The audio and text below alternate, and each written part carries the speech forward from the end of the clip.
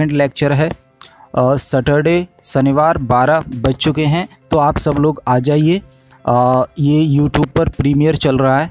तो भारत में बैंकिंग प्रणाली, ये हमारा टॉपिक है, इंडिया में बैंकिंग सिस्टम। तो आज हम, एक्चुअली में ये टॉपिक जो है, काफ़ी बड़ा है। तो आज हम इसका पार्ट वन डिस्कस करेंगे। नेक्स्ट वीडियो में हम इसका पार्ट सेकंड लेके आएँगे। और फिर ज़रूरत पड़ी तो पार्ट थर्ड आएगा, अदरवाइज़ पार्ट टू में अगर कंप्लीट हो गया तो पार्ट टू में ही हम कंप्लीट कर लेंगे। यहाँ पे हमें ये नहीं देखना है कि कितने पार्ट्स में वीडियो आ रहा है। हमें यहाँ देखना है कि पूरा सिलेबस अच्छे से कवर होना चाहिए, पूरा टॉपिक अच्छे से कवर होना चाहिए।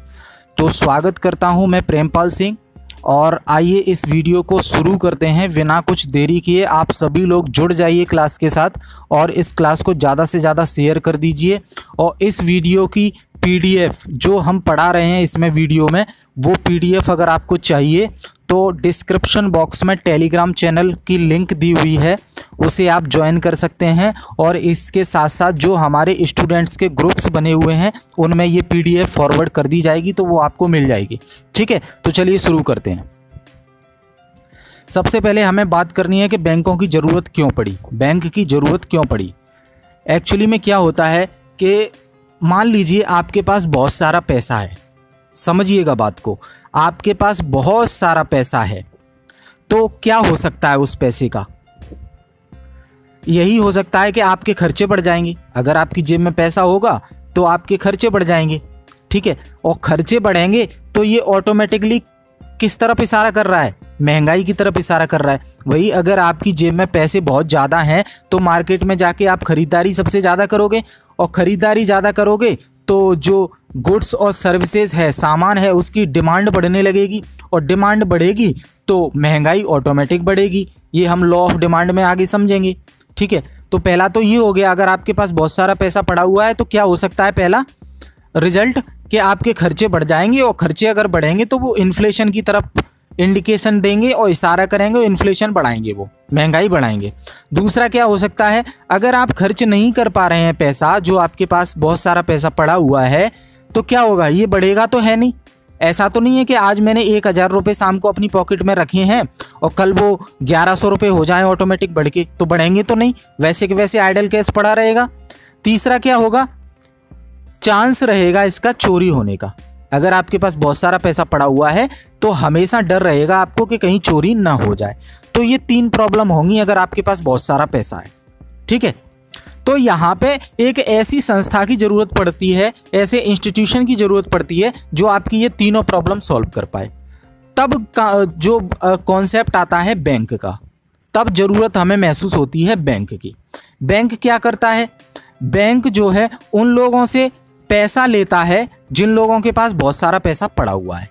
और बदले में बैंक उन्हें क्या देता है? ब्याज देता है। तो उनका भी फ़ायदा हो गया, चोरी होने से बच गया पैसा।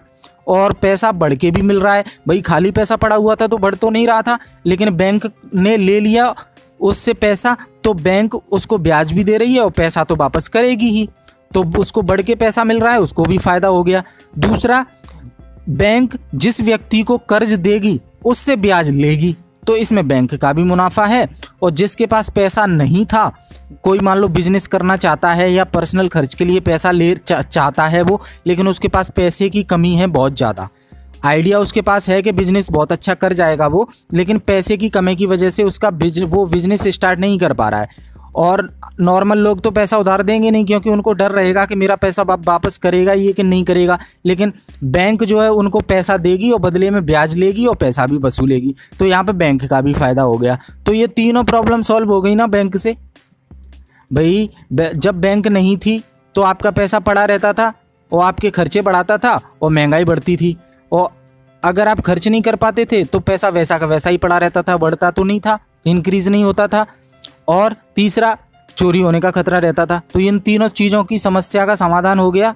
बैंक आने से, जिसके पास ज़्यादा पैसा है, बैंक उससे ले लेगी और जिसके पास कम पैसा है, वो बैंक उसको दे देगी। तो दोनों का काम चल गया यहाँ पे, ठीक है? अब बात आती है, ये हम डिस्कस कर चुके हैं जिससे बैंक पैसा लेगी, उसको ब्याज देगी बैंक। और जिसको बैंक बैंक पैसा देगी, उससे ब्याज लेगी। क्योंकि उसका काम चलाया है बैंक ने। ठीक है? तो यहाँ पे हम बात करते हैं बैंक में और जो डिपॉजिटर है, जो पैसा जमा करने वाला व्यक्ति है वो और बोरोवर जो कर्ज लेने वाला व्यक्ति, इन तीनों में सबसे अहम भूमिका किसकी है? इम्पोर्टेंट पर्सन कौन है इनमें? तो सबसे इम्पोर्टेंट है डिपॉजिटर भाई, अगर डिपॉजिटर बैंक में पैसा जमा करने आएगा ही नहीं तो बैंक के पास पैसा कहाँ से आएगा? और बैंक के पास पैसा नहीं आएगा तो बैंक कर्ज कैसे बांटेगी लोगों को? तो सबसे इम्पोर्टेंट जो रोल है, जो परफॉर्म किया जा रहा है, वो है डिपॉजिटर के द्वारा। तो ध्यान रखना बैंक में डिपॉजिटर में और बोरोवर में सबसे इम्पोर्टेंट कौन है? डिपॉजिटर है। ये आया हुआ प्रश्न है, प्रश्न पूछा जाता है ये। और अब बात आती है कि लोगों की समस्या तो सॉल्व कर दी। अब कहीं यही बैंक लोगों के साथ धोखेबाजी कर दी है तो महाराष्ट्र वाला केस चुना था ना आपने? कई लोगों के पैसे जमा थे और महाराष्ट्र वाली बैंक में जो है लफड़ा हो गया तो सारे के सारे सभी लोगों के पैसे मारे गए। तो ऐसा लफड़ा बार बार ना हो तो उसको कंट्रोल करने के लिए इन बैंकों के ऊपर भी एक ऐसी ऑर्गेनाइजेशन होनी चाहिए जो इनकी इनकी आ, इनको ल, जो है बाँध कर रख सके इनकी जो नाक में नकेल पहना सके और इनको तुरंत तुरंत इनको हमेशा टाइम टू टाइम रिमाइंड दिलाती रहा करें कि लोगों का पैसा मारने की ज़रूरत नहीं है, हम बैठे हुए हैं आपको देखने के लिए। तो ऐसे में ये जो SBI, Punjab national bank bank of Baroda, ये इन सब बैंकों के ऊपर भी एक बैंक होगा, वो उसे हम कहेंगे सेंट्रल बैंक। और इंडिया का सेंट्रल बैंक कौन सा है? आरबीआई। आरबीआई क्या करता है? इन बैंकों के ऊपर निगरानी करता है कि ये बैंक आम लोगों का पैसा मार के न चले जाएँ। ठीक है? तो ये हो गया आरबीआई के बारे में, जो कि सुप्रीम इंस्टीट्यूशन है इंडिया में सभी बैंकों के ऊपर नज़र रखने के लिए और इंडिया का सेंट्रल बैंक है। तो आपसे पूछा जाता है, भारत का सेंट्रल बैंक कौन है? तो आरबीआई है, रिज़र्व बैंक ऑफ़ इंडिया, भारतीय रिज़र्व बैंक। जो क्या करता है, लोगों के इंटरेस्ट को प्रोटेक्ट करता है कि कहीं ये जो कमर्शियल बैंक हैं, वो लोगों का पैसा ना मार पाए, ठीक है? अब बैंक में आपने देखा होगा, नॉर्मली जनरली आपको पता ही होगा, करंट अकाउंट होता है, सेविंग अकाउंट होता है फिक्स डिपॉजिट होता है। करेंट अकाउंट में ब्याज नहीं मिलता है लोगों को, सेविंग अकाउंट में ब्याज मिलता है बैंक के द्वारा, फिक्स डिपॉजिट में भी ब्याज मिलता है। तो करेंट अकाउंट में जो पैसा जमा होता है और सेविंग अकाउंट में जो पैसा जमा होता है, उसे हम डिमांड डिपॉजिट कहते हैं। ये टर्म आपको याद रखनी है। क्वेश्चन पूछा जाता है कि डिमांड डिपॉजिट के अंतर्गत कौन सी, कौन से अकाउंट आता है। तो आपको बताना है, करेंट अकाउंट और सेविंग अकाउंट को मिलकर ही डिमांड डिपॉजिट कहते हैं। इनमें, इन दोनों में जो पैसा जमा किया जाता है उस डिपॉजिट को हम डिमांड डिपॉजिट कहते हैं। क्यों कहते हैं? डिमांड डिपॉजिट क्योंकि करेंट अकाउंट और सेविंग अकाउंट में किसी भी व्यक्ति के द्वारा पैसा अगर जमा किया जाता है तो वो व्यक्ति कभी भी आकर अपना पैसा मांग सकता है और बैंक को पैसा देना ही पड़ेगा। मतलब कभी भी वो डिमांड कर सकता है अपने पैसे की, इसलिए इसे डिमांड डिपॉजिट कहते हैं। फिक्स डिपॉजिट में क्या होता है? फिक्स डिपॉजिट में जो पैसा जमा होता है, उसे हम टाइम डिपॉजिट कहते हैं। आपने फिक्स डिपॉजिट एफडी का नाम सुना है तो छः साल के लिए होती है। फिक्स टाइम के लिए होती है ठीक है? तो छः साल से पहले कोई भी कस्टमर पैसा मांगने नहीं आ सकता बैंक के पास। अगर पैसा मांगने आएगा छः साल से पहले तो उसे जो है चार्ज देना पड़ेगा पैसा देना पड़ेगा एक्स्ट्रा। मतलब उसका पैसा कट जाएगा पूरा पैसा उसको नहीं मिलेगा चार्ज कट जाएगा। तो ये एक फिक्स टाइम के बाद डिपॉजिटर डिप, जो डिपॉजिट किया है पैसा वो पैसा विड्रॉ करने के लिए आता है। एक फिक्स टाइम के बाद इसलिए इसे टाइम डिपॉजिट कहते हैं। तो एफ़ में जो पैसा डिपॉजिट होता है, उसे टाइम डिपॉजिट कहते हैं। ठीक है? अब देखिए लाइबिलिटी और एसेट में अंतर क्या होता है? दो टर्मोलॉजी हैं लाइबिलिटीज और एसेट लाइबिलिटी वो चीज़ होती है जो हमें किसी की वापस करनी है। ध्यान से समझिएगा लाइबिलिटी वो टर्मोलॉजी है, वो चीज़ है जो हमें किसी की वापस करनी है। समझ गए? अब लाइबिलिटी दो प्रकार की होती है डिमांड लाइबिलिटी और टाइम लाइबिलिटी अब बात कर लेते हैं एसेट की, हमने बात की। एसेट वो चीज़ है जो हमारी खुद की है। अब आप मुझे बताइए बैंक के लिए एसेट क्या होगी और बैंक के लिए लाइबिलिटी क्या होगी? ये टर्मोलॉजी ध्यान रखना है आपको तो ध्यान रखिए बैंक में कस्टमर पैसा जमा करता है। तो बैंक में जो पैसा जमा हो रहा है डिपॉजिटर के द्वारा, वो बैंक की लाइबिलिटी है। वो पैसा बैंक को वापस करना है, उसका खुद का पैसा नहीं है वो। तो बैंक के लिए लाइबिलिटी क्या हो गई? कस्टमर के डिपॉजिट ठीक है? और एसेट्स क्या हो गए बैंक के लिए? बैंक ने जो लोन बांट रखा है मार्केट में लोगों को, वो पैसा वापस आएगा बैंक के पास? तो बैंक के लिए वो हो गई एसेट्स उसकी। ठीक है? तो अब बात आती है डिमांड पे आ जाते हैं। डिमांड लाइबिलिटी और टाइम लाइबिलिटी लाइबिलिटी दो प्रकार की होती है डिमांड लाइबिलिटी और टाइम लाइबिलिटी करेंट अकाउंट और सेविंग अकाउंट में जो पैसा जमा होता है, वो वापस करना पड़ेगा बैंक को, लोगों को. तो ये हो गई डिमांड लाइबिलिटी क्योंकि कभी भी डिमांड आ सकती है कस्टमर की तरफ़ से. फिक्स डिपॉजिट में जो पैसा जमा होता है, वो एक फ़िक्स टाइम के बाद वापस करती है बैंक तो इसे हम टाइम लाइबिलिटी कहेंगे. और डिमांड लाइबिलिटी और टाइम लाइबिलिटी दोनों को टोटल कर दिया जाए तो total demand and time liability निकल कर आता है. ध्यान से समझिएगा इस चीज़ को, ठीक है? अब बात आती है, सरकार द्वारा महँगाई को कंट्रोल करने के लिए C R R S L R repo rate का उपयोग किया जाता है। ये हम मॉनेटरी पॉलिसी अगला हमारा जो लेक्चर होगा, अगला पार्ट में हम डिस्कस करेंगे monetary policy of RBI RBI की मॉनेटरी पॉलिसी के बारे में बड़ा डिटेल में लेक्चर होगा इंटरेस्ट आएगा आपको, काफ़ी मज़ा आएगा नई नई चीज़ें सीखने को मिलेंगी। तो C R R S L R repo rate हम इसमें डिटेल में पढ़ेंगे उस लेक्चर में। अभी आपको ध्यान देना है कि सरकार द्वारा जो इन्फ्लेशन को कंट्रोल करने के लिए C R R S L R repo rate का उपयोग किया जाता है। जैसे कि इन सभी की गणना करने के लिए और C R R S L R और रेपो रेट निकालने के लिए एन डी टी एल का इस्तेमाल किया जाता है। Net demand and time liability ध्यान रखिएगा, हमने पिछले, पिछली स्लाइड में हमने देखा total demand and time liability क्या होता है? Total demand and time liability क्या होता है? Demand liability plus time liability अगर दोनों को टोटल कर दिया जाए तो total demand and time liability निकल कर आता है। C R R S L R और रेपो रेट का की गणना करने के लिए हम एनडीटीएल का इस्तेमाल करते हैं और NDTL total demand and time liability में से ही निकलता है। एन डी का फुल फॉर्म होता है net demand and time liability देखिए एनडीटीएल समझते हैं हम, हर बैंक में ग्राहक पर्सनल रूप से या किसी संस्था के द्वारा पैसा जमा करते हैं। पता है आपको ये बात? बैंक उनको यह पैसे ब्याज के साथ वापस देती है, ये भी पता है, हम डिस्कस कर चुके हैं। ये सभी जमा राशि को लाइबिलिटी कहा जाता है।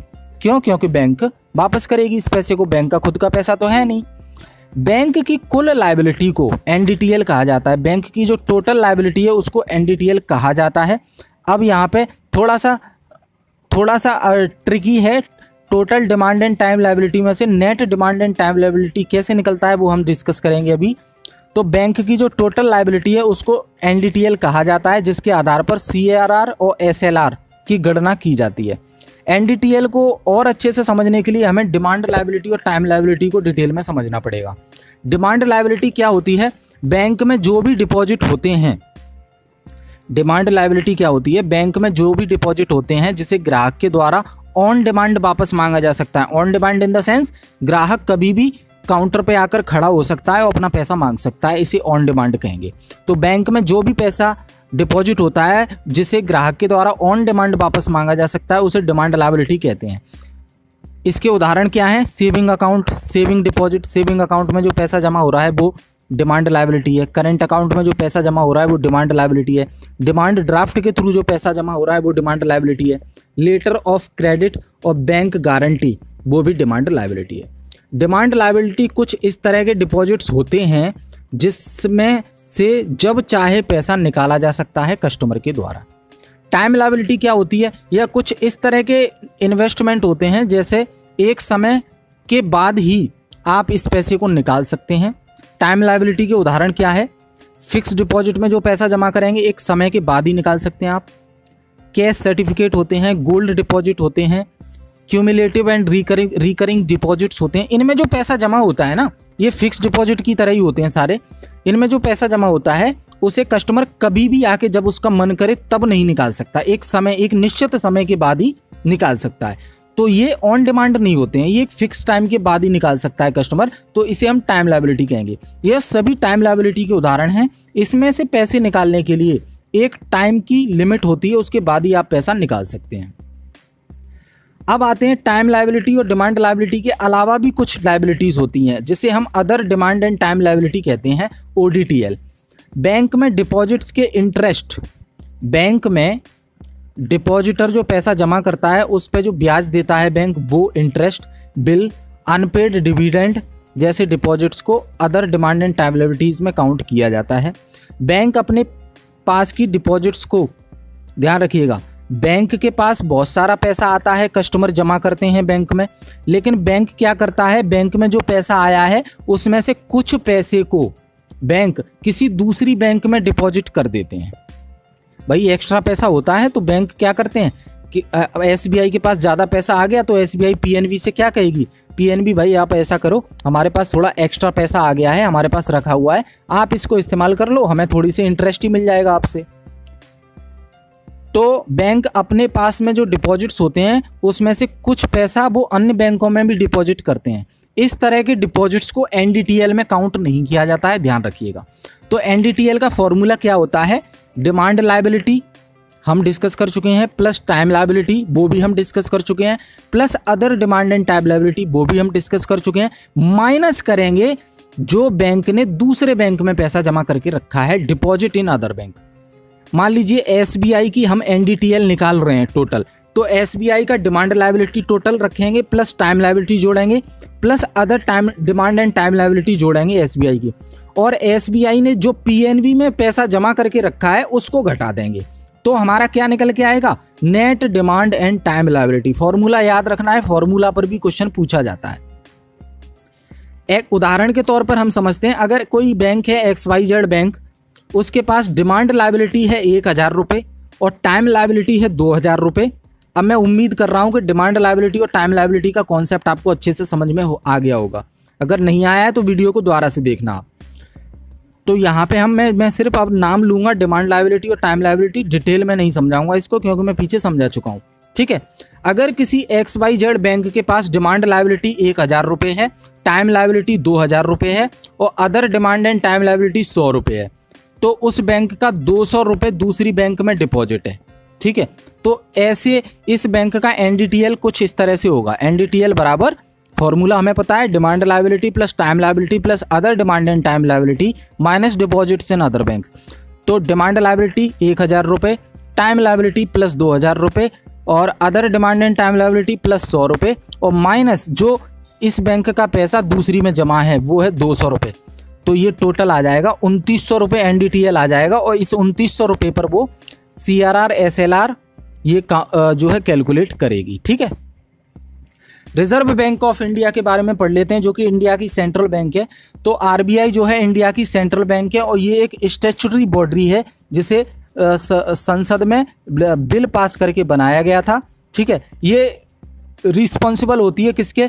करेंसी प्रिंट करने के नोट छापने के लिए। इसकी ये ज़िम्मेदारी है, किसकी? आरबीआई की ज़िम्मेदारी है नोट छापने की। ठीक है, और इन भारत की अर्थव्यवस्था में इंडियन इकोनॉमी में कितना पैसा आ रहा है, कितना जा रहा है और कितना देना है मार्केट में, पैसा बढ़ाना है या मार्केट से पैसा खींचना है तो सप्लाई ऑफ़ मनी को मैनेज करती है आरबीआई और करेंसी को भी प्रिंट करती है आरबीआई बाकी डिटेल में आगे हम फ़ंक्शन पढ़ेंगे इसके और डिटेल में क्या क्या काम करती है। आरबीआई को आरबीआई का राष्ट्रीयकरण कर दिया गया था एक जनवरी उन्नीस सौ उनचास को, इस पर प्रश्न पूछा जाता है, पूछा हुआ प्रश्न है, आपको याद रखना है।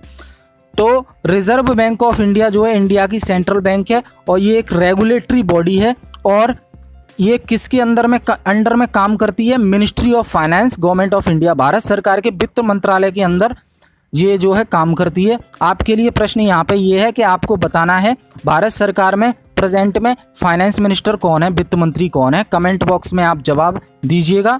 अदरवाइज़ हमें टेलीग्राम चैनल पर भी जवाब दे सकते हैं।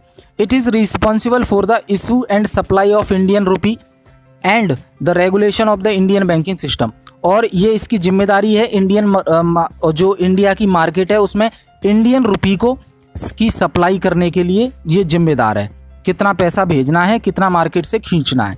Also manages the country's main payment देश, अपने देश का दूसरे देशों के साथ जो पेमेंट होता है लेन देन होता है, उसको भी मैनेज करती है भारत की रिज़र्व बैंक ये सारी चीज़ें आपको याद रखनी है, हर लाइन पर क्वेश्चन बनता है, मैं बार बार कह रहा हूँ आपसे।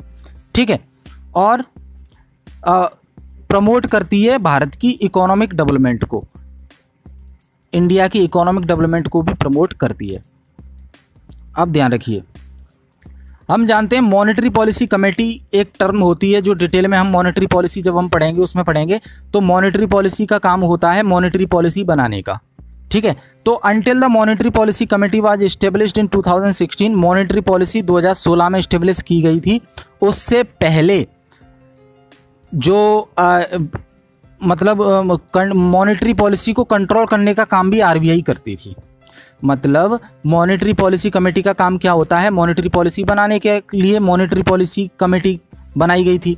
लेकिन मॉनेटरी पॉलिसी कमेटी 2016 में बनाई गई थी। उससे पहले मॉनेटरी पॉलिसी को लागू करने का काम भी आरबीआई के द्वारा डायरेक्ट किया जाता था। ठीक है? अब ये इसका जो ऑपरेशन है, इसने काम करना शुरू कब किया? एक अप्रैल 1935 को पूछा गया प्रश्न है, आपको याद रखना है।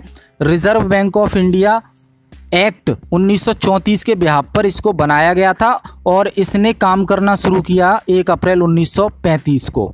ठीक है? इसमें जो original share capital was dividend into share of hundred each fully paid सौ सौ रुपये के शेयर थे इसके शुरुआत में और following India's independence on fifteen अगर nineteen forty seven the R B I was nationalised on first जनवरी उन्नीस सौ उनचास। आरबीआई का नेशनलाइजेशन हो गया था एक जनवरी उन्नीस सौ उनचास को। पिछली स्लाइड में हम डिस्कस कर चुके हैं। ठीक है? It is a member bank of the Asian Clearing Union Asian Clearing Union की ये मेंबर बैंक है, आपको याद रखनी है, प्रश्न पूछा जाता है। ठीक है? The overall direction of the R B I lies with the twenty one member central board of director इसमें जो है ट्वेंटी वन मेंबर होते हैं सेंट्रल बोर्ड ऑफ़ डायरेक्टर्स होते हैं। जो किस किस से मिलकर बने होते हैं, एक होता है इसका मुख्य गवर्नर होता है आरबीआई का। आपके लिए प्रश्न है, आपको जवाब देना है, आरबीआई का करंट में गवर्नर कौन है? ठीक है? फोर डिप्टी गवर्नर होते हैं। गवर्नर की मदद करने के लिए चार डेप्यूटी गवर्नर होते हैं और दो फाइनेंस मिनिस्ट्री के रिप्रेजेंटेटिव होते हैं। दो फाइनेंशियल फाइनेंस मिनिस्ट्री जो वित्त मंत्रालय भारत सरकार का, उसका रिप्रेजेंटेटिव होते हैं। और ये यूजली इकोनॉमिक अफेयर्स सेक्रेटरी होते हैं और फाइनेंशियल सर्विसेज़ सेक्रेटरी होते हैं, ठीक है? और टेन गवर्नमेंट नॉमिनेटेड डायरेक्टर्स होते हैं और इसके अलावा गवर्नमेंट के द्वारा नॉमिनेट किए गए दस डायरेक्टर भी होते हैं जो यहाँ काम करते हैं और four director who represent local board for Mumbai Kolkata Chennai and Delhi इन चारों जगह ब्रांचेस हैं आरबीआई की मेन तो इनके जो डायरेक्टर हैं, वो भी इन दस डायरेक्टर में शामिल होते हैं, ठीक है? Each of these local boards consist of five members और ये हर लोकल बोर्ड मुंबई, कोलकाता और चेन्नई और दिल्ली का, who represent regional interest and in the interest of cooperative and indigenous bank ध्यान रखना है आपको आरबीआई का स्ट्रक्चर हम समझते हैं आरबीआई की संरचना हम समझते हैं। आरबीआई का जो हेड होता है, वो गवर्नर होते हैं। अब मैं बता देता हूँ आपको, कर अभी शक्तिकांत दास आरबीआई के गवर्नर हैं ठीक है? ये ये पहले ऐसे गवर्नर हैं जिनकी एजुकेशन इकोनॉमिक्स और फाइनेंस में नहीं है ये एमए हिस्ट्री हैं। ध्यान रखना है आपको एम ए हिस्ट्री हैं और आर बी आई को संभाल रहे हैं ठीक है ना? अजीब लगता होगा पर ये आपको आ, जो है इन्फॉर्मेशन से मतलब है क्योंकि क्वेश्चन अटेम्प्ट करना है आपको। तो ये पहले ऐसे गवर्नर हैं अभी तक के इतिहास में आफ्टर इंडिपेंडेंस जिनकी क्वालिफिकेशन फाइनेंस और इकोनॉमिक्स से संबंधित नहीं है, ये एम ए हिस्ट्री हैं। There are currently four deputy governor हमने डिस्कस किया कि गवर्नर की मदद करने के लिए चार डेप्यूटी गवर्नर्स होते हैं। वो गवर्नर कौन से हैं? Deputy governors Mahesh Kumar Jain M Rajeshwar Rao और माइकल पेट्रांड और रवि शंकर। ये चार डेप्यूटी गवर्नर हैं। डेप्यूटी गवर्नर के नाम भी आपको याद रखने हैं। The R B I has four regional representation R B I के चार जो है रीजनल सेंटर हैं नॉर्थ नई दिल्ली में नॉर्थ में और चेन्नई में साउथ में और कोलकाता में ईस्ट में और मुंबई में वेस्ट में। ये चार सेंटर हैं main the representation are formed by five members appointed by appointed for four years by the central government and with the advice of the central board of director serves as a forum for regional banks and to deal with the delegated task from the central board it has two training college RBI जो है, दो training college भी हैं RBI के, जिसमें RBI में जो बंदे सिलेक्ट किए जाते हैं, उनकी ट्रेनिंग होती है ऑफिसर्स की।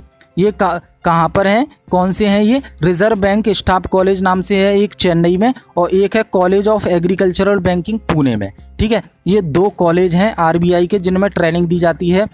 और इसके अलावा तीन ऑटोनॉमस इंस्टीट्यूशन हैं जो आरबीआई के द्वारा चलाए जाते हैं। एक है national institute of banking management, NIBM, और दूसरा है Indira Gandhi institute of development research. और इसके साथ institute of development and research in banking technology, ये आरबीआई के ऑटोनोमस इंस्टीट्यूशन है। There are also four zonal training centre इसके अलावा चार जोनल ट्रेनिंग सेंटर भी हैं आरबीआई के, मुंबई में, चेन्नई में, कोलकाता में और नई दिल्ली में। अब ब्रीफ हिस्ट्री हम समझते हैं आरबीआई की। हमने एक्चुअली में सारी चीज़ें डिस्कस कर ली हैं, लेकिन कुछ इंपॉर्टेंट चीज़ और है। सॉरी जो हम डिस्कस करते हैं। आपसे प्रश्न पूछा जाता है कि आरबीआई की जो स्थापना है किस आयोग की सिफारिश पर की गई थी? तो सवाल पूछा गया है, इसलिए मैंने ये शामिल किया है। आपको याद रखना है, हिल्टन यंग कमीशन की सिफारिशों के आधार पर आरबीआई की स्थापना की गई थी। पूछा गया प्रश्न है, आपको बिल्कुल भूलना नहीं है, याद रखना है। और it was started as a shareholders bank with a paid up capital of पाँच करोड़। शुरुआत में पाँच करोड़ की कैपिटल के साथ इसको शुरू किया गया था। और शुरुआत में इसका हेडक्वार्टर कोलकाता में था, लेकिन 1937 में 1937 में मुंबई में इसको लाया गया हेडक्वार्टर को, ठीक है? और शुरुआत में आरबीआई प्राइवेट हाथों में थी, क्योंकि नेशनलाइजेशन एक जनवरी उन्नीस सौ उनचास को हुआ है, तब सरकार के हाथों में आई है, लेकिन उन्नीस सौ उनचास से पहले ये प्राइवेट हाथों में थी प्राइवेट लोग इसको चला रहे थे तो शुरुआत में ये प्राइवेट हाथों में थी, बाद में इसका नेशनलाइजेशन हुआ है, उन्नीस सौ उनचास में, ये याद रखना है। जिस तरह से हम इंडियन पॉलिटी में प्रियम्बल पढ़ते हैं ना, उस तरह से आरबीआई का भी एक प्रियम्बल है प्रस्तावना। उसमें क्या लिखा है? The preamble of the Reserve Bank of India describe the basic function of the Reserve Bank as to regulate the issue of bank notes bank note को इशू करने का रेगुलेशन करेगी and keeping of reserves with a view to securing monetary stability in India Bharat में money supply को control करने के लिए money का वैल्यू कम ना हो जाए, ज़्यादा ना हो जाए, उसको सिक्योर करने के लिए ये आरबीआई काम करती है and generally to operate the currency and credit system of the country to its advantage और करेंसी को मैनेज करने के लिए और इंडिया का जो क्रेडिट सिस्टम है लेन देन का, उसको मैनेज करने के लिए भी आरबीआई काम करती है। ये इसका प्रियम्बल में ये लाइनें लिखी गई हैं। फ़ंक्शन ऑफ़ आरबीआई क्या है? देखिए करेंसी इशू करने का काम करती है करेंसी प्रिंट करने का काम करती है और डेवलपमेंटल रोल भी होते हैं। डेवलपमेंटल रोल करती है, जैसे कि पॉलिसी नई बनाना, नई पॉलिसी बनाना, जिससे इंडिया की इकोनॉमी में ग्रोथ आए डेवलपमेंट आए। ठीक है, वो काम भी करती है फाइनेंस मिनिस्ट्री के साथ मिलकर। और भारत सरकार के लिए ये बैंकर का काम करती है। भारत सरकार का जितना भी लेन देन होता है, सबकी देखभाल ये करती है और भारत सरकार को पैसा और कर्ज चाहिए होता है तो भी आरबीआई कर्ज देती है उसको डेवलपमेंटल वर्क के लिए। क्योंकि भारत सरकार के पास बहुत सारा काम होता है डेवलपमेंटल काम होता है इंफ्रास्ट्रक्चर डेवलपमेंट का काम होता है, पुल बनाने हैं स्कूल बनाने हैं हॉस्पिटल बनाने हैं, एम्स बनाने हैं आईआईटी बनाने हैं आईएएम्स बनाने हैं, बहुत से काम करने होते हैं। तो सरकार को पैसे की ज़रूरत पड़ती है तो सरकार के लिए बैंक बैंकर का काम भी करती है आरबीआई ठीक है? और जो कमर्शियल बैंक है हमारे SBI Punjab National Bank Bank of Baroda देख, इनको जब पैसे की ज़रूरत होती है तो आरबीआई से ये कर्ज लेते हैं। भाई, आम आदमी को पैसे की ज़रूरत होती है, वो कहाँ जाते हैं? कमर्शियल बैंकों के पास एसबीआई के पास ही जाओगे ना आप लोग, हम लोग। लेकिन सोचिए, अगर एसबीआई के पास भी पैसे की कमी है, उसको भी ज़रूरत पड़ेगी, वो कहाँ जाएगी? आरबीआई के पास जाएगी वो, ठीक है? Role of RBI in inflation control महँगाई को कंट्रोल करने के लिए भी आरबीआई काम करती है C R R S L R के माध्यम से फिस्क मॉनेटरी पॉलिसी के माध्यम से हम डिटेल में पढ़ेंगे आगे। और मॉनेटरी पॉलिसी बनाने का काम भी करती है। मॉनेटरी पॉलिसी कौन बनाता है? मॉनेटरी पॉलिसी कमेटी बनाती है। मॉनेटरी पॉलिसी कमेटी किसके अंडर है? आरबीआई के अंडर है। क्लियरिंग हाउस फ़ंक्शन होते हैं। रेगुलेशन ऑफ़ बैंकिंग सिस्टम कोई भी बैंक लोगों के साथ गलत ना कर सके तो बैंकिंग सिस्टम को रेगुलेट करने का काम भी आरबीआई का है। ये देख पा रहे हैं, बहुत सारी बैंक्स हैं इंडिया में चलती हैं Bank of Baroda Union Bank अब तो काफ़ी मर्ज हो गई हैं बैंक हैं। ठीक है S B I I C I C I bank ठीक है, ये सारी बैंक हैं। Bank of Baroda Canara Bank function of RBI ये इमेज फॉर्म में दिखाया गया है, वैसे हमने डिस्कस कर लिया है तो देखिए बैंकर्स का बैंक होता है करेंसी इशू करना monetary authority regulator of financial system managing foreign exchange अच्छा विदेश से जो डॉलर आता है ना फॉरेन एक्सचेंज रिज़र्व में उसको सेफ़ रखा जाता है, उसको मैनेज भी आरबीआई करता है, विदेश से जो डॉलर आता है सप्लाई होती है। भाई इंडिया के लोग बाहर काम कर रहे हैं ना तो अपने घर वालों को वो पैसा बचा बचा के भेजते हैं ना हर महीने तो डॉलर में ही तो भेजेंगे। तो डॉलर का लेन देन के का जो हिसाब किताब है, वो भी देखती है कि इंडिया में डॉलर कितनी सप्लाई हो रही है। डेवलपमेंटल फ़ंक्शन भी होते हैं regulator of payment and settlement government के लिए बैंकर का काम करता है और डिटेक्शन ऑफ़ फेक करेंसी जो नकली नोट मार्केट में चलते हैं, उनका पता भी आरबीआई लगाता है। ठीक है? Role of RBI bankers to bank monetary policy banana currency issue करना फॉरेन एक्सचेंज मैनेजमेंट करना फाइनेंशियल सिस्टम को सुपरवाइज करना, ये है। ऑब्जेक्टिव क्या है? ऑब्जेक्टिव है maintain internal value of currency Bharat की इंडियन रुपी की जो वैल्यू है ना, गिर जाए, उसको भी दे, देखभाल करता है ये, उसको भी मैनेज करता है। ठीक है? Preserve the external value of rupee बाहर इंडिया की करेंसी की वैल्यू ना गिर जाए, उसको भी देखता है। और प्राइस स्टेबिलिटी ज़्यादा रेट बढ़ ना जाए, किसी सामान के कम ना हो जाए, उसको भी देखता है। और promote economic growth economic growth को प्रमोट करता है और फाइनेंशियल इंस्टीट्यूशन को प्रमोट करता है। Reserve Bank of India Reserve Bank of India किसको कंट्रोल करता है? दो तरह की बैंकों को शेड्यूल बैंकों को और नॉन शेड्यूल बैंकों को। नॉन शेड्यूल बैंकों में तो ज़्यादा ये जो है असंगठित क्षेत्र होते हैं ये, इन पर डेटा इकट्ठा करना बहुत मुश्किल होता है। आगे हम पढ़ेंगे जब जो स्टैटिस्टिक्स के बारे में हम पढ़ेंगे, तब इसको देखेंगे हम। शेड्यूल बैंक में दो तरह की बैंक आती हैं, आपको याद रखना है, कमर्शियल बैंक और कोऑपरेटिव बैंक। कमर्शियल बैंक में आपकी पब्लिक सेक्टर बैंक आएँगी, प्राइवेट सेक्टर बैंक आएँगी, विदेशी बैंक आ जाएँगी और रीजनल रूरल बैंक, जो ग्रामीण बैंक है, वो आ जाएँगी। कम, और कोऑपरेटिव में आ जाएँगी आपकी। स्टेट कोऑपरेटिव बैंक जो राज्य चलाते हैं डिस्ट्रिक्ट कोऑपरेटिव बैंक और अदर कोऑपरेटिव बैंक अब पब्लिक सेक्टर बैंक में एसबीआई और उसकी एसोसिएट हैं, वो आ जाएँगी। नेशनलाइज्ड बैंक अदर बैंक वो हैं और other public sector bank private sector में I C I C I H D F C आ जाएँगी। फॉरेन बैंक में आपकी यस बैंक आ जाएगी। बैंक ऑफ़ अमेरिका आ जाएगी। ठीक है? रीजनल रूरल बैंक में जो ग्रामीण बैंक आ जाएँगी। ठीक है? तो ये हमने शुरुआती लेक्चर है हमारा बैंकिंग सिस्टम इन इंडिया के बारे में। अगले पार्ट में हम मॉनेटरी पॉलिसी के बारे में बहुत डिटेल में हम डिस्कस करेंगे। काफ़ी शानदार लेक्चर होगा वो भी। ठीक है? तो आई होप ये सारी चीज़ें आपको क्लियर हो गई होंगी, समझ में आ गई होंगी। अगर किसी भी टॉपिक में कोई डाउट है तो पहले तो आप वीडियो को रिवाइज करके दोबारा से देखिए, समझने की कोशिश कीजिए।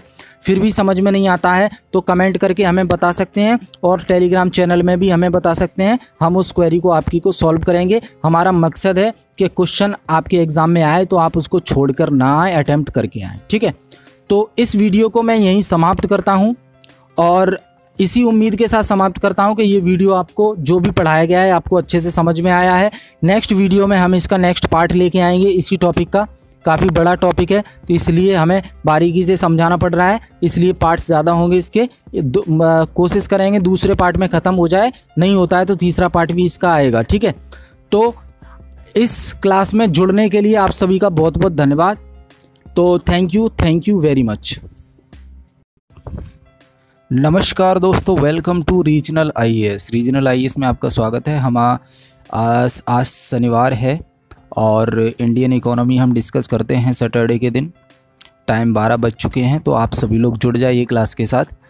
आज हमारा जो बैंकिंग सिस्टम इन इंडिया ये टॉपिक है। इंडियन इकोनॉमी का जो टॉपिक हम डिस्कस कर रहे हैं, वो है बैंकिंग सिस्टम इन इंडिया तो इसका जो फ़र्स्ट पार्ट है, उसमें हमने आरबीआई और उससे पहले बेसिक चीज़ें डिस्कस कर ली थी, कंप्लीट हो चुका है वो हमारा सेकंड लेक्चर इंडियन इकोनॉमी का और इंडियन बैंकिंग सिस्टम का फ़र्स्ट पार्ट तो वो आप प्लेलिस्ट में जाके देख सकते हैं। आज हम इंडियन बैंकिंग सिस्टम का पार्ट टू डिस्कस करेंगे, जिसमें हमारा मेजर फोकस रहेगा रीजनल रूरल बैंक्स पर। तो किस तरह से प्रश्न बनते हैं, वो सारी चीज़ें इसमें कवर की जाएँगी, सारे सारी इन्फॉर्मेशन आरआरबी से रिलेटेड यहाँ पे कवर की जाएगी, ठीक है? तो चलिए शुरू करते हैं। देखिए regional rural banks RRB regional rural banks are basically banking organisation for local level operations across the states in India Bharat में जितने भी राज्य हैं तो उन राज्यों में जो लोकल लेवल पे जो ऑपरेशंस होते हैं स्पेसिफिकली ग्रामीण जो इलाके हैं रूरल रूरल एरियाज़ हैं, उनके लिए जो ऑपरेशंस होते हैं, उनके लिए जो प्रोग्राम्स चलाए जाते हैं तो ये आरआरबी जो बैंक हैं, वो बेसिकली जो है लोकल लेवल ऑपरेशन के लिए एक ऐसी ऑर्गेनाइजेशन है जो रूरल डेवलपमेंट के लिए काम करती हैं, ठीक है? They are created with a mandate to provide essential और basic banking and financial services to the rural areas इनको बनाने का उद्देश्य इनको बनाया इसलिए गया था कि ये जो है बेसिक सर्विसेज़ आधारभूत सेवाएँ, जो बैंकिंग सेवाएँ हैं और फाइनेंशियल सर्विसेज़ वित्तीय सेवाएँ हैं, उनको रूरल इलाके तक पहुँचा सकें, ठीक है? While regional rural banks are mean for rural areas they can operate in urban areas also जो रीजनल रूरल बैंक्स हैं, जो क्षेत्रीय ग्रामीण बैंक हैं, वो ग्रामीण इलाकों के लिए बनाई गई थी। लेकिन ये शहरी इलाकों में भी ऑपरेट होती हैं, शहरी इलाकों में भी ब्रांचेज़ हैं, इनकी और वहाँ पे भी काम करती हैं। तो इसका जो मेन पर्पज़ है the main purpose behind setting up the R R B is to mobilise financial resources from the rural areas and grant loans to needy and marginal farmers and artisans तो जो RRB को set setup करने का जो main purpose ये था कि ग्रामीण इलाकों से जो रिसोर्सेज हैं, उनको मोबलाइज किया जाए और ग्रामीण इलाकों में जो रहने वाले लोग हैं, जिनको ज़रूरत है पैसे की, उनको पैसा दिया जाए लोन के थ्रू किसानों को पैसा दिया जाए, ठीक है, और जो छोटे छोटे व्यापारी हैं, उनको पैसा दिया जाए, जिससे वो अपना काम कर सकें। They also facilitate the movement of government funds to MNREGA workers और डिस्ट्रीब्यूशन ऑफ़ पेंशन और जो रीजनल रूरल बैंक्स हैं, ये MNREGA Mahatma Gandhi National Rural Employment Guarantee Act M G NREGA के थ्रू जो लोग काम करते हैं, उनको पैसा देने का काम भी, डिस्ट्रीब्यूशन का काम भी यहाँ से किया जाता है और जो पेंशन बांटी जाती है, वो भी आरआरबी के थ्रू बांटी जाती है रूरल इलाके में। आरआरबी का इतिहास अगर हम देखें अभी तक तो regional rural banks were set up on the basis of Narasimha committee report 1975 प्रश्न पूछा गया, प्रश्न है, ये कई बार पूछा जाता है कि आरआरबी की स्थापना कौन सी समिति, कौन सी कमेटी की रिकमेंडेशन सिफारिश के आधार पर की गई थी? तो आपको जवाब याद रखना है कि रीजनल रूरल बैंक्स जो सेटअप की गई थी वो नरसिम्हा कमेटी रिपोर्ट 1975 की रिकमेंडेशन पर सेटअप की गई थी। So by the legislations of the regional rural bank act of 1976 और किस लॉ के आधार पर बनाई गई थी, किस अधिनियम के आधार पर बनाई गई थी RRB act 1976 thereafter the first regional rural bank was set up in 1975 और पहली, ये भी याद रखना है, पूछा गया प्रश्न है, पहली रीजनल रूरल बैंक पहली क्षेत्रीय ग्रामीण बैंक किस साल बनाई गई थी या पहली रीजनल रूरल बैंक की स्थापना किस वर्ष की गई थी? तो 1975 इसका सही जवाब है। So the first regional rural bank was set up in 1975 itself by the name Prathama Gramin Bank और जो पहली आरआरबी सेटअप की गई थी 1975 में। नरसिम्हा कमेटी रिपोर्ट 1975 के आधार पर। उसका जो नाम था, वो था प्रथमा ग्रामीण बैंक। ऑनरशिप की बात कर लेते हैं। इसमें मालिकाना हक जो होता है, कोई भी आरआरबी है, कोई भी क्षेत्रीय ग्रामीण बैंक है, उसमें मालिक कौन होता है? या एक मालिक होता है या बहुत से मालिक होते हैं? अगर बहुत से मालिक होते हैं तो कितने कितने परसेंट के मालिक होते हैं? ये शेयर पूछा जाता है आपसे प्रश्न जो है एग्ज़ाम में। तो जो सेंट्रल गवर्नमेंट है इसमें देखिए जो आरआरबी है the equity of RRB is held by the stakeholders in fixed proportion of 50, 15 and 35 distributed among the following 50, 15 और 35 के अनुपात में ये ऑनरशिप मालिकाना हक बटा होता है। तो केंद्र सरकार की हिस्सेदारी कोई भी अगर रीजनल रूरल बैंक है, आपके आसपास भी चल रही है तो ध्यान रखिएगा, उसमें केंद्र सरकार की जो हिस्सेदारी होगी वो 50 परसेंट होगी ओवरऑल और 15 परसेंट हिस्सेदारी राज्य सरकार की होगी और स्पॉन्सर बैंक जो उसे स्पॉन्सर कर रही है, जैसे कि ये कमर्शियल बैंक होती हैं एसबीआई कई ग्रामीण बैंकों को स्पॉन्सरशिप देती है। तो स्पॉन्सर जो बैंक होगी, जो उस जो इस ग्रामीण बैंक को स्पॉन्सर कर रही होगी, उसकी हिस्सेदारी 35 परसेंट होगी। तो टोटल आरआरबी का जो मालिकाना हक है, वो तीन भागों में डिस्ट्रीब्यूट है। 50 परसेंट हिस्सेदारी केंद्र सरकार की होती है और 15 परसेंट हिस्सेदारी राज्य सरकार की होती है और 35 परसेंट हिस्सेदारी स्पॉन्सर बैंक की होती है। तो these ratios are important to remember to be able to face the question related to regional rural bank recruitment ठीक है? Objectives of regional rural bank उद्देश्य क्या है? क्षेत्रीय ग्रामीण बैंक के। तो उद्देश्य इसका ये है पहला to bridge the credit gap in rural regions in India जो क्रेडिट गैप उभर कर आता है कि शहर में लोगों को लोन मिल जाता है, गाँव के लोगों को लोन नहीं मिलता है तो उस गैप को ये भरना चाहती है। ये चाहती है कि रीजनल रूरल बैंक के आने से गाँव के लोगों को भी लोन मिले क्रेडिट मिले, उधारी मिले। दूसरा है to check rural credit outflow to urban areas और ये ये भी चेक करती है कि रूरल क्रेडिट आउटफ्लो गाँव से बाहर पैसा कितना जा रहा है अर्बन एरिया में।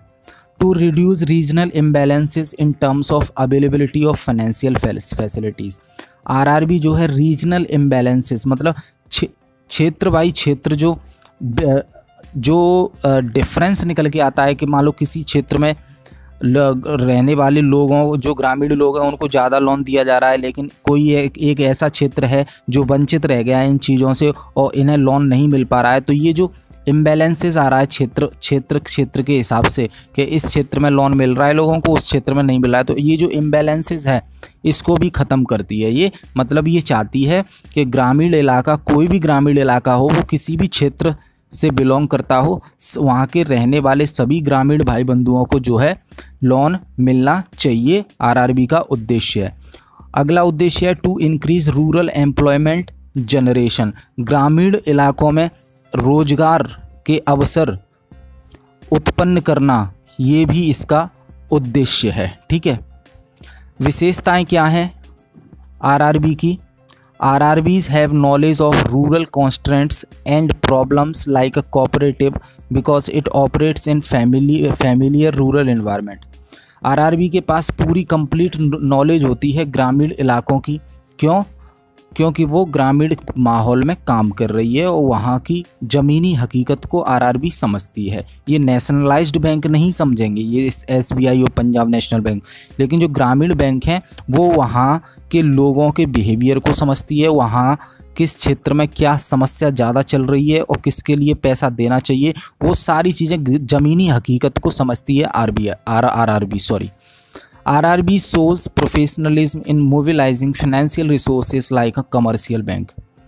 और आरआरबी जो है जो फाइनेंशियल रिसोर्सेज हैं, उनको मोबिलाइजिंग करने में भी काम करती है और ये प्रोफेशनलिज्म की तरह काम करती है। R R Bs are suppose to work in its prescribed local limits और हर आर आर बी अपनी लिमिटेड एरिया में ही अच्छे से काम करती है।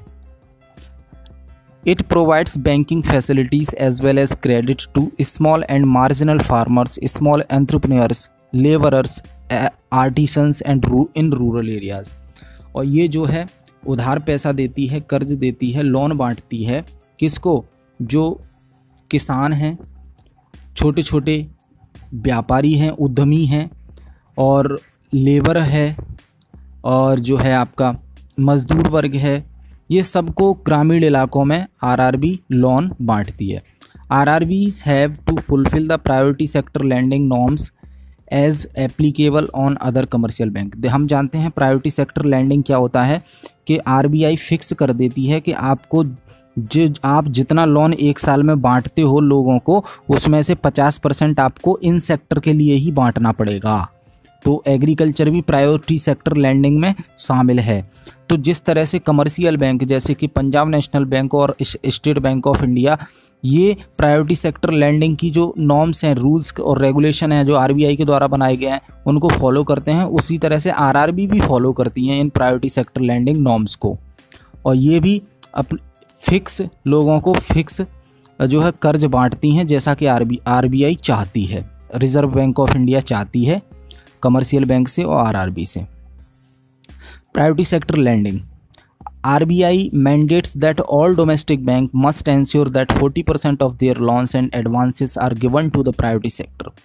RBI ने ये कंपलसरी कर रखा है कि 40 परसेंट लोन जितना आप लोन बांटते हैं पूरे साल में, उसमें से 40 percent loan priority sector lending को ही देना पड़ेगा, जो ज़रूरती ज़रूरत के सेक्टर हैं। Priority sector comprise priority sector में क्या क्या चीज़ आती है?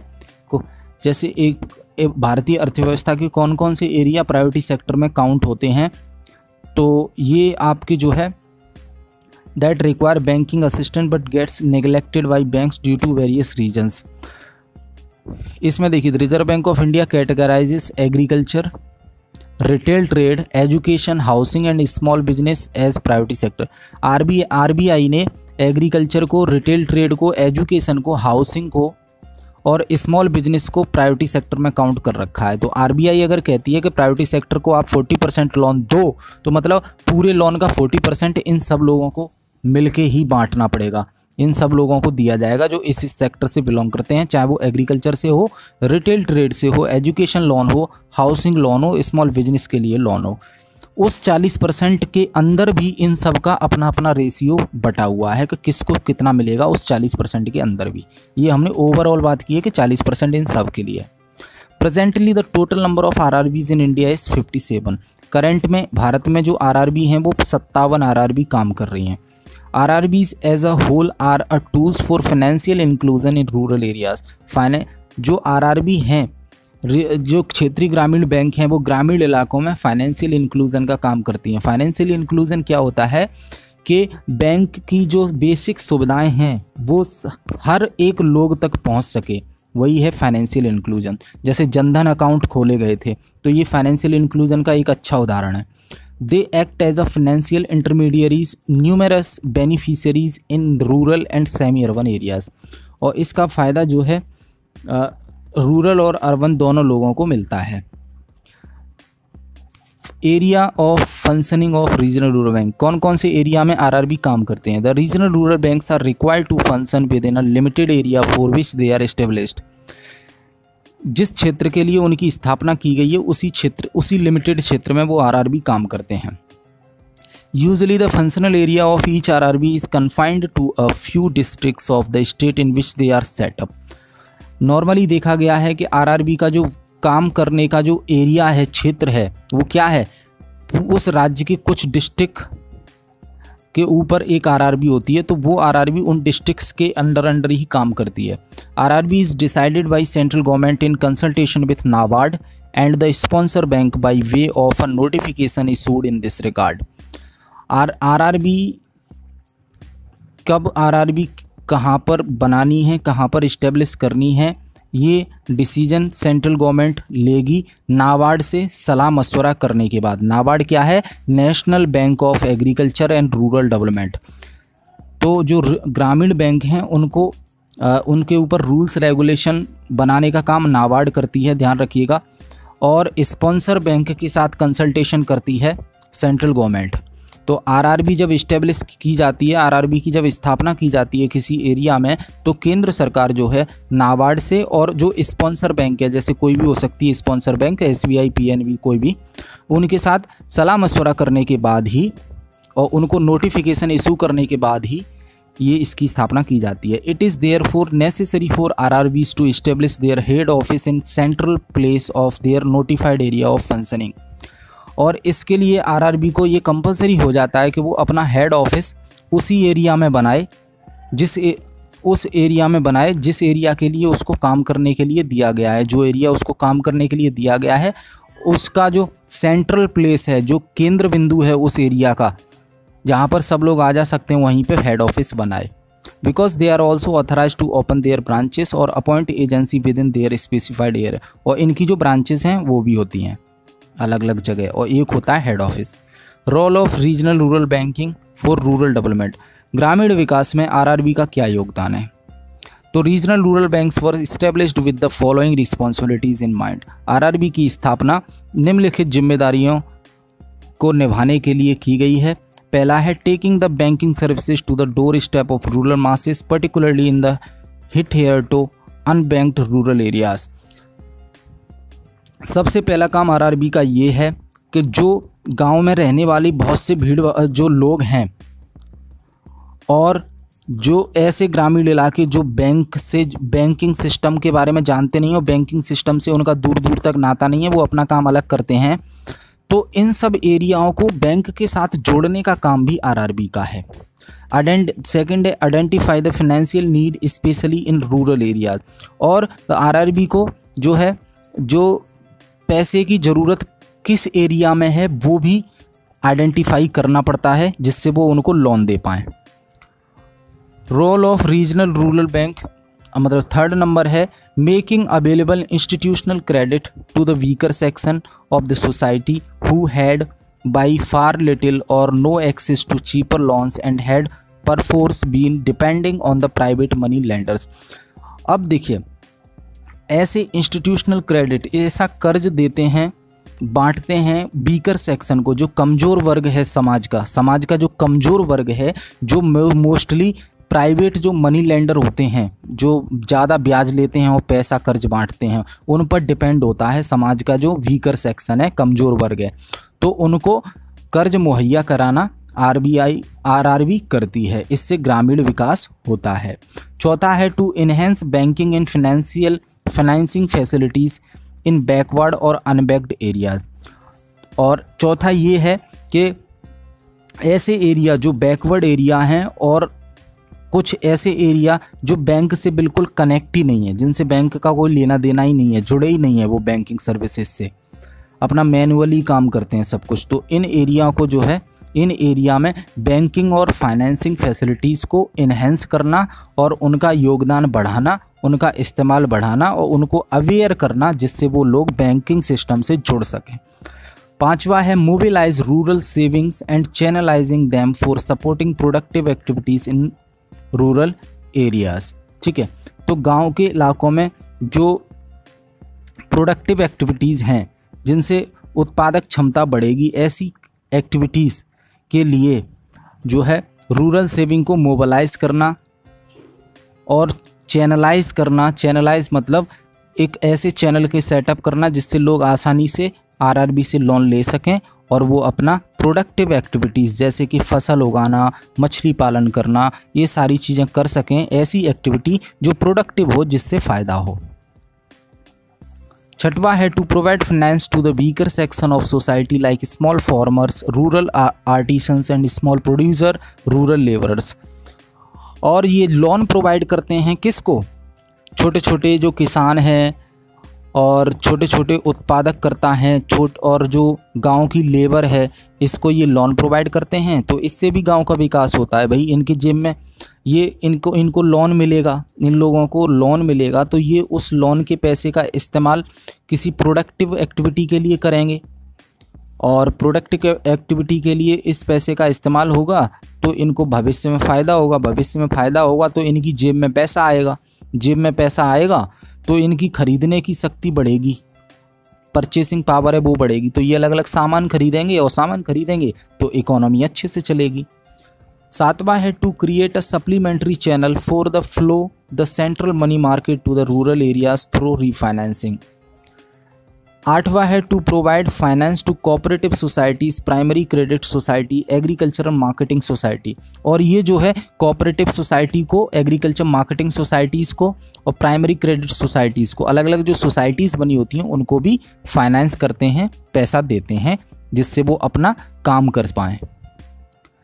नवा है generating employment opportunities in rural areas and bringing down the cost of providing credit to rural areas नवा है कि ये गाँव गाँव के जो ग्रामीण इलाके हैं, उसमें जो है रोज़गार के अवसर पैदा करती हैं ये।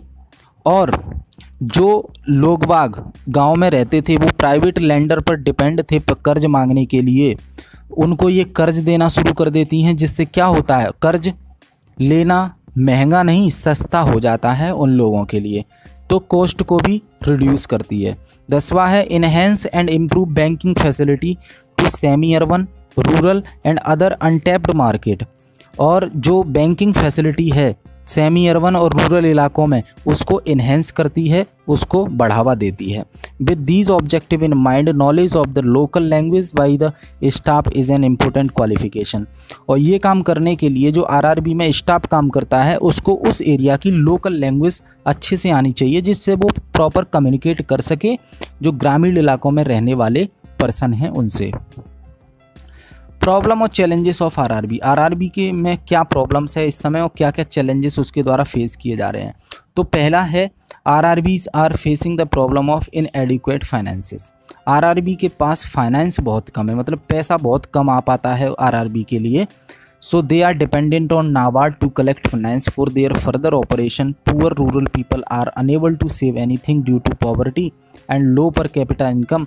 The low level of saving of these customer create obstacles for rrbs to collect sufficient deposits देखिए ग्रामीण बैंक जो है ग्रामीण इलाकों के लिए हैं और ग्रामीण इलाकों में रहने वाले जो लोग हैं वो इतने गरीब होते हैं कि वो अपना खाना पीना ही अच्छे से चला पाते हैं, इसके अलावा वो सेविंग नहीं कर पाते हैं, बचा नहीं पाते हैं पैसा। क्योंकि अगर पैसा बचाएँगे तो वो आरआरबी की ब्रांच में जमा करा पाएँगे ना अपने खाते में। और आरआरबी की खाते में जमा करा पाएँगे जिससे इससे क्या होगा? आरआरबी के पास पैसा आएगा। आरआरबी के पास पैसा आएगा तो उस पैसे को वो फिर से लोन में बांटेगी। तो ऐसा सेविंग नहीं बढ़ पा रहे हैं आरआरबी के पास, क्योंकि ग्रामीण इलाकों के लोगों के पास सेविंग ज़्यादा नहीं है, बचत ज़्यादा नहीं है, जिससे वो अपने पैसे को आरआरबी के बैंक खाते में जमा कर सकें और आरआरबी उन, उस पैसे का इस्तेमाल दूसरे लोगों को लोन देने में कर सके। तो लोन बांटने के लिए जो पैसा चाहिए होता है आरआरबी वो पैसा कहाँ से लेती है, नाबार्ड से लेती है, उसी पर निर्भर रहती है कि आप हमें पैसा दो, फिर हम ग्राम, गाँव के लोगों को लोन बांटेंगे। ठीक है? दूसरा है high overdues and poor recovery of loan is one of the biggest concern affecting the functioning of RRBs दूसरा ये है, अब आरआरबी के पास पहले से ही पैसा नहीं आ रहा है डिपॉजिट्स नहीं आ रहे हैं कस्टमर के गाँव में रहने वाले लोगों के डिपॉजिट्स नहीं आ रहे हैं तो आरआरबी क्या कर रहा है? फिर भी नाबार्ड से कर्ज लेके लोगों को लोन बांट रहा है। लेकिन लोगों को लोन बांटता जा रहा है, बांटता जा रहा है, लेकिन लोग उस लोन को ही वापस नहीं कर रहे हैं तो रिकवरी रेट बहुत कम है। इससे क्या है? ओवरड्यूज बहुत बढ़ रहे हैं तो ये चिंता का विषय है आरआरबी के लिए। Reasons being poor access of granting loans, insufficient and untrained staff, unproductive or less productive use of credit, inadequate production, poor marketing facilities and improper challenge of recovery system. इसके पीछे कि रिकवरी नहीं हो पा रही है पैसे की आरआरबी की आरआरबी जो लोन के माध्यम से पैसा बांट रहा है वो पैसा आरआरबी के पास वापस नहीं आ रहा है इसके पीछे भी कई कारण है कि स्टाफ स्टाफ मेंबर जो आरआरबी में काम करने वाले लोग हैं वो टैलेंटेड ना होना और जो है मार्केटिंग फैसिलिटीज़ अच्छी ना होना और रिकवरी का माध्यम रिकवरी करने का तरीका सही नहीं होना, ये कई कारण है। तीसरा है there is also problem of regional imbalances in banking facilities provided by the R R Bs they are creating this problem by concentrating their branches in some specific states and districts and lose other perspective group of customer regional imbalances की problem ज़्यादा है। RRB क्या करती हैं बहुत सारी कि कोई अच्छा ज़िला है वहाँ पे तो ब्रांच दो दो डाल देंगी तीन तीन डाल देंगी, लेकिन वहीं बाजू वाला ज़िला है, उसमें एक भी ब्रांच नहीं है। तो ये क्षेत्र के आधार पर भेदभाव क्यों? हर जगह ब्रांचेस होनी चाहिए और हर कस्टमर को इक्वल ट्रीट करना चाहिए आपको। क्योंकि तो एक ज़िला में तीन ब्रांचें हैं आपकी, वहाँ के कस्टमरों को लोन मिलता जा रहा है दूसरे दूसरे ज़िला में ब्रांच ही नहीं है, वहाँ के कस्टमर इन सुविधाओं से बेखबर हैं बिल्कुल। तो ये रीजनल इम्बेलेंसेस की प्रॉब्लम ज़्यादा है। चौथा है many R R Bs are suffering from the problem of heavy loans because of low repaying capacity of their customer चौथा ये है कि आर आर बी के पास समस्या कितनी बड़ी आ रही है। समस्या क्या है कि वो जो है, इतने हैवी लोन से ग्रसित हो चुके हैं, इतने हैवी लोन से परेशान हो चुके हैं। क्यों? क्योंकि जो कस्टमर उनसे लोन ले जाता है, वो वापस ही नहीं कर पा रहा है। मान लो फ़सल के लिए लोन ले गया ओ, ओ, ओला हो गई ओले पड़ गए बारिश आ गई मौसम खराब हो गया फ़सल बर्बाद हो गई अब बेचारा कहाँ से दे वो पैसा? तो रीपेइंग कैपेसिटी कस्टमर की जो है कम हो गई है जिससे आरआरबी के ऊपर जो है हैवी लोन्स का प्रेशर बढ़ गया है। और जो है low level of deposits deposits भी कम आते हैं कस्टमर से। ठीक है तो ये जो है प्रॉब्लम है आरआरबी के साथ। पांचवी है these banks have still not played a significant role in poverty alleviation of the country पांचवी प्रॉब्लम ये है कि ये जो बैंक हैं, वो गरीबी दूर करने में देश की मदद नहीं कर रहे हैं। गाँव के इलाकों के जो लोग हैं, उनकी गरीबी दूर करने में मदद नहीं कर पा रहे हैं। भाई, आप ग्रामीण लोगों को लोन दे रहे हो। जिस मकसद से ग्रामीण व्यक्ति लोन ले जा रहा है, वो काम वो करता है। फिर उसको प्रॉफिट होता है तब वो लोन वापस कर पाता है। अगर लॉस हो जाता है तो वो बेचारा वैसे ही मारा जाता है। तो लो, लोन वापस नहीं करेगा तो आपका लॉस है। इसलिए आप प्रॉपर प्लानिंग के साथ एक प्रॉपर वे में आप लोन बांटिए और लोन देने से पहले रीजन का पता कीजिए कारण का पता कीजिए कि किस लिए वो व्यक्ति लोन ले जा रहा है।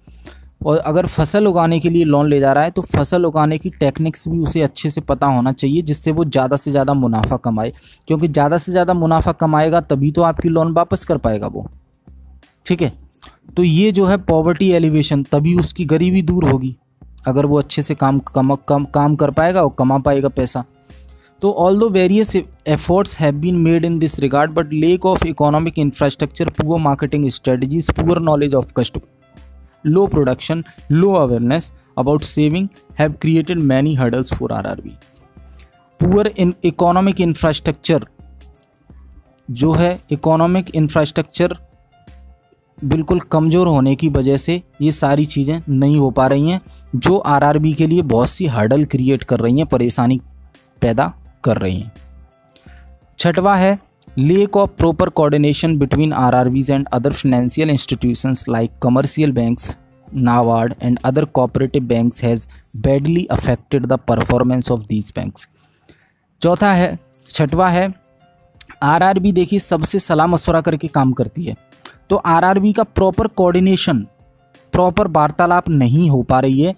फाइनेंशियल इंस्टीट्यूशन जो अदर फाइनेंशियल इंस्टीट्यूशंस हैं, जैसे जैसे कि कमर्शियल बैंक मान लो कमर्शियल बैंक है S B I P N B जो इन स्पॉन्सर बैंक होते हैं आरआरबी के।